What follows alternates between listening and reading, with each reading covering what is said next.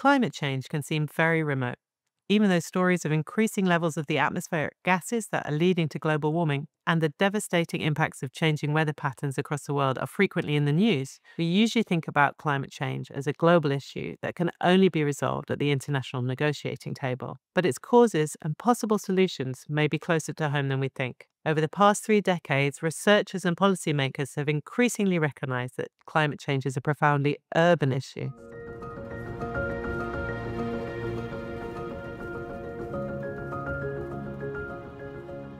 Hi, I'm Harriet Bulkeley, Professor of Geography at Durham University, and today I hope to address a question why are cities an important part of climate change? Cities are a key source of the greenhouse gas emissions that are produced from energy consumption. As growing numbers of the world's population are living in cities, the concentration of economic production, energy use, transportation, and consumption in cities means that they are central to how our climate is changing. In their latest report, the IPCC show that while in 2015 the urban share of global emissions was about 62%, by 2020, this had increased to between 67 and 72% of global emissions. These emissions are not evenly distributed, as about 100 of the largest emitting cities account for about 18% of the global carbon footprint. And at the same time, cities are feeling the impacts of climate change more rapidly and with more consequences than elsewhere. For example, as a result of the combination of climate change with the urban heat island effect, extreme heat risks are expected to affect half of the future urban population,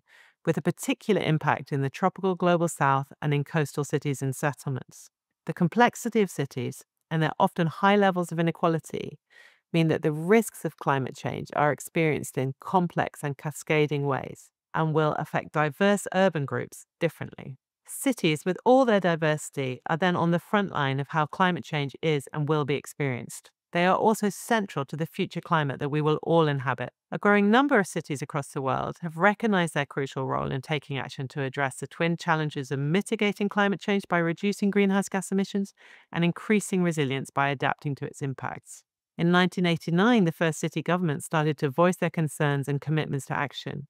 And through the first two decades of the century, the numbers have swelled such that there are now nearly 14,000 cities representing over 1.2 billion people who have declared a commitment to address climate change. And they are not acting alone. One of the most remarkable and important features about how cities have taken up the challenge of addressing climate change is that they've done so through developing transnational collaboration to share knowledge, build their capacity to tackle the problem, raise funding, and create solidarity and political support. ICLEI, the Network of Local Governments for Sustainability, was founded in the 1990s and it now has regional branches globally. C40, established in 2003, is a network of large cities which now has 97 members, representing over 20% of the global economy. As part of their efforts, city governments have developed commitments to reduce greenhouse gas emissions, both internally and across their communities, and have created action plans and policies to do so. Even when national governments have turned away, as happened in Australia and the US during the 2000s, many city governments stayed the course, continuing to pledge commitment and to develop plans for action. Despite this momentum shown by city governments, urban action for climate change has not proven to be a silver bullet that can resolve the climate crisis. For a start, not all cities are engaged equally. City networks for climate change remain relatively dominated by large cities in the global north, while smaller cities in the global south, where much of the predicted rise in urbanization is due to take place, are less likely to be involved. There is also mixed evidence about how successful those cities that have signed up to take action have been in moving from setting targets and developing plans towards actual implementation. While we have seen that those involved in city networks are more likely to have met initial targets and reduced emissions, an analysis of action taken across the G20 found that while over 3,000 cities and 173 regions have pledged commitments to mitigate climate change, less than half have provided adequate data about their progress, and it's likely that even a smaller fraction are on track to keep their commitments. A similarly mixed picture emerges when it comes to adaptation planning and building resilience. Part of the challenge for cities in moving from commitments to action lies in the degree to which their remit and capacity are shaped by others. Cities operate under the conditions of multi level governance. That is, their autonomy to govern is shaped vertically by the powers of regional and national governments and horizontally by the extent to which they're able to draw on collaboration with neighbouring local authorities, partner organisations, businesses, and communities. These multi level governance conditions shape how far it's a city's responsibility to manage transportation or land use planning, their freedom to regulate or levy taxes, as well as the different kinds of resources and authority they can draw upon. Cities are, of course, also constrained by the finance they have available to take action for climate change. Frequently, there are no specific funds dedicated to climate action, and being able to invest for what can often seem like a long term return can be politically challenging.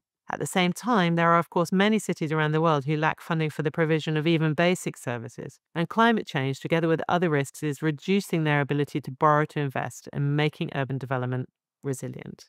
Now, in the face of these constraints and limited evidence of the impact of urban climate policy and planning, it might be tempting to write off cities' efforts in addressing climate change as well intentioned but ultimately futile. Yet, over the past two decades, research I've been undertaking with international collaborators and early career researchers has shown that a focus on policy and planning does not give us a full picture of what cities can and are doing in the face of the climate crisis.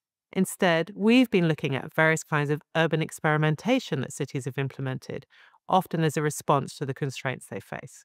This experimentation ranges from formal setups like living laboratories for testing electric vehicle infrastructure or smart grids, through to more informal space for trying out new solutions through temporary installation of urban forests or beaches and play spaces to reclaim streets from motor vehicles.